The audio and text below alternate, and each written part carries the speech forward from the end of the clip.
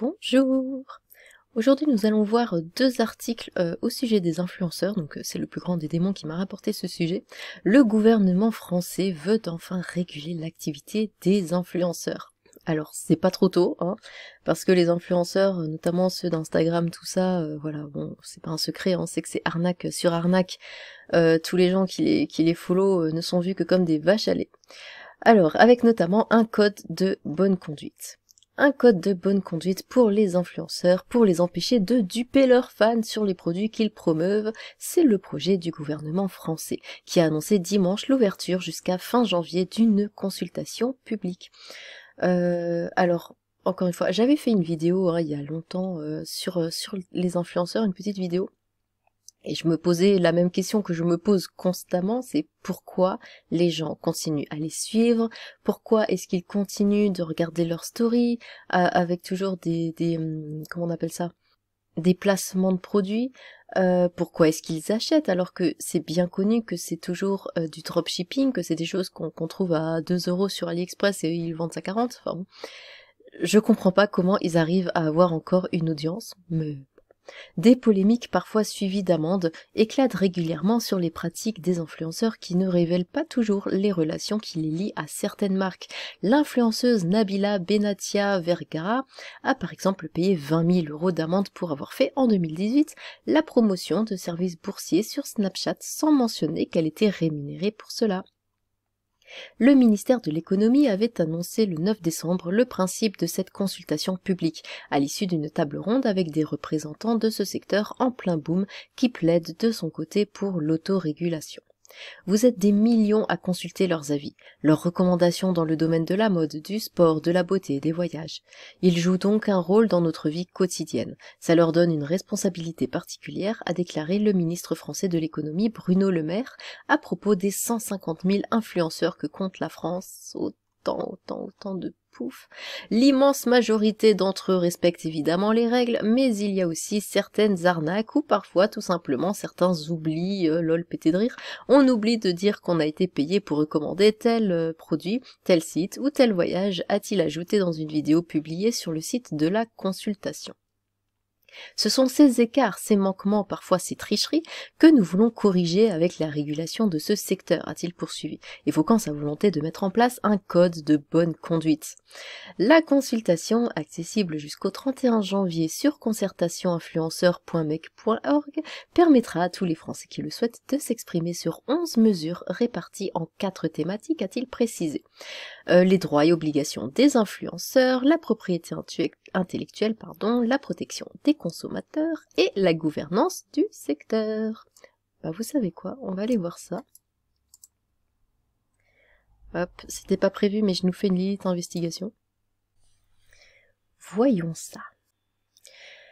Alors, concertation, tac, on refuse. Votre voix compte pour mieux accompagner et encadrer les influenceurs. J'ai besoin de vous. Nous avons besoin de vos idées. Alors que le secteur de l'influence prend une ampleur, une ampleur croissante, générant de la créativité et de la valeur, certains agissements négatifs nuisent à l'image du secteur et peuvent mettre en danger les consommateurs. Une grande démarche de co-construction est lancée pour mieux accompagner et encadrer l'activité d'influence. Donnez-moi vos avis sur des mesures concrètes jusqu'au 31 janvier. Oh mon dieu, nous sommes le 21, il faut y aller. Euh, qu'est-ce que qu'est-ce que une définition pour l'agent d'influenceur? Établir une définition officielle de l'agent d'influenceur avec pour but de la codifier dans un texte de loi. Participons. Alors, une définition pour l'agent d'influenceur, à quel problème cette mesure répond-elle? Il n'existe pas aujourd'hui de définition des agents d'influenceurs. Afin d'encadrer les pratiques des agents d'influenceurs, il est indispensable de donner une définition légale aux personnes qui sont mandatées par les influenceurs créateurs de contenu pour les représenter. Bah oui, parce qu'il y a quand même pas mal d'argent qui est en jeu. Donc euh, hop, en quoi consiste cette mesure? L'agent d'influenceur pourrait être défini comme la personne physique ou morale ayant reçu mandat à titre gratuit ou onéreux d'un ou plusieurs influenceurs pour les placer, les représenter et les assister auprès de personnes commanditaires des prestations du marketing. Ouais bah c'est un agent quoi. Euh, cette mesure permet-elle selon vous de répondre efficacement aux problèmes?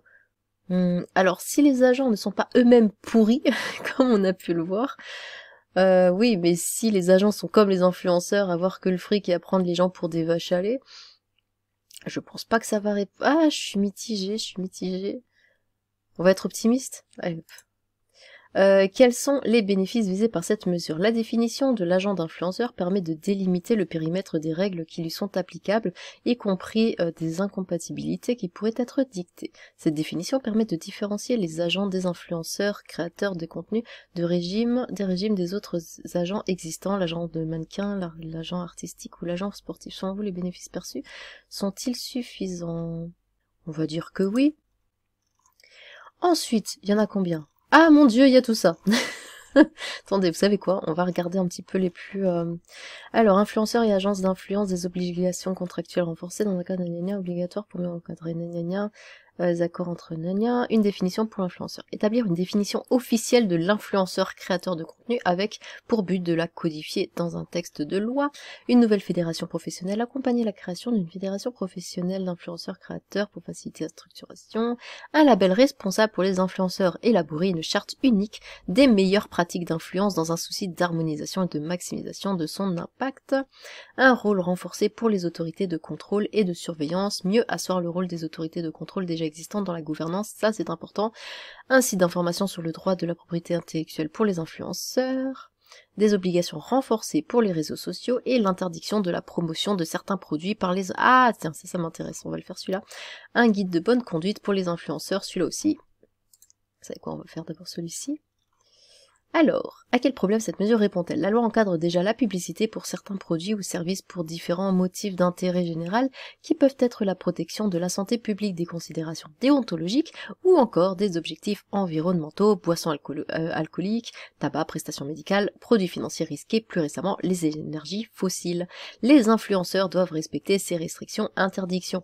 L'audience spécifique des influenceurs, plus jeune que l'audience moyenne d'autres vecteurs de publicité, pose toutefois la question d'imposer des règles plus strictes aux influenceurs si leur activité est porteuse de risques particuliers en direction euh, de certains publics vulnérables, comme par exemple les jeunes. Et ce problème, oui Oui, parce qu'ils profitent des jeunes, de la faiblesse des jeunes, euh, pour, euh, pour se faire de l'argent. Donc de, voilà, ça c'est extrêmement important. Euh, en quoi consiste cette mesure? La mesure vise à évaluer la nécessité d'interdire la promotion de certains biens et services par les influenceurs, créateurs de contenu au-delà du respect des interdictions générales déjà applicables à certains produits, services. Cela passera par des travaux menés par les autorités sectorielles compétentes, associant les professeurs. Le, le texte est chiant. Hein. On est d'accord, le texte est chiant.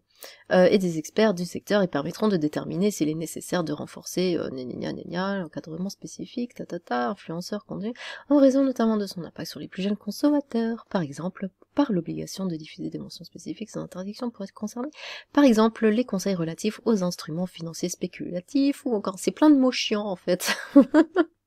ou encore les jeux d'argent et de hasard, sauf lorsque le public est explicitement informé que ceux-ci sont réservés aux personnes majeures. Ces mesures, bah oui. Quels sont les bénéfices visés par cette mesure? L'objectif est d'assurer un plus haut niveau de protection des consommateurs, et bah évidemment que c'est absolument. Voilà. Et on va faire euh, le dernier. Un guide de bonne conduite pour les influenceurs. Alors bon, évidemment, je vous mettrai le lien en description si vous voulez aussi euh, participer et euh, donner votre avis. À quel problème euh, cette mesure répond-elle? On constate une insuffisante connaissance par les influenceurs créateurs de contenu du principe même de leurs obligations. En outre, beaucoup d'influenceurs créateurs de contenu, bien qu'ils connaissent le principe de ces obligations, ne savent pas exactement comment ils doivent s'y conformer en pratique. Les influenceurs ont pourtant des obligations importantes. La loi oblige par exemple les influenceurs créateurs de contenu à faire état de leur intention commerciale dans leurs publications sur les réseaux sociaux. De surcroît, l'influenceur créateur de contenu promouvant un produit ou un service doit le faire de façon loyale, transparente sur les caractéristiques essentielles du produit, service, comme son prix ou son usage, ainsi que les risques éventuels liés à son utilisation. Ceci paraît plaider pour un effort conséquent de, sensibilisation, de sensibilisation des influenceurs créateurs de contenu aux obligations qu'ils doivent respecter. La mesure vise à créer un guide pratique qui permettrait aux influenceurs créateurs de contenu de mieux connaître leurs obligations et de les aider à s'y conformer. Ce guide pourrait être élaboré avec le discours de l'administration et en étroite concertation avec les parties prenantes. Ce guide devrait compiler euh, en un seul document l'ensemble des droits, obligations attachés à l'activité d'influenceur ainsi que les éventuelles sanctions encourues, les modalités pour mettre en œuvre ces obligations telles que les conditions dans lesquelles une publication peut être qualifiée de commerciale et les modalités d'affichage de l'intention commerciale dans les publications des influenceurs.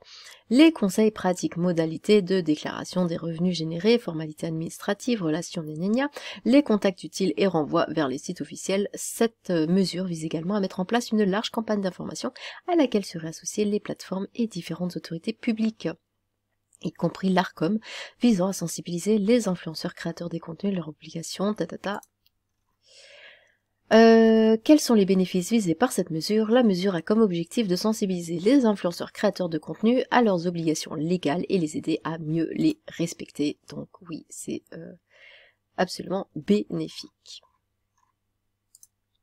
Ces textes sont chiants. Hein. Voilà, donc euh, dites-moi vous ce que vous pensez des influenceurs. Est-ce que vous suivez des influenceurs, par exemple sur Instagram ou autre?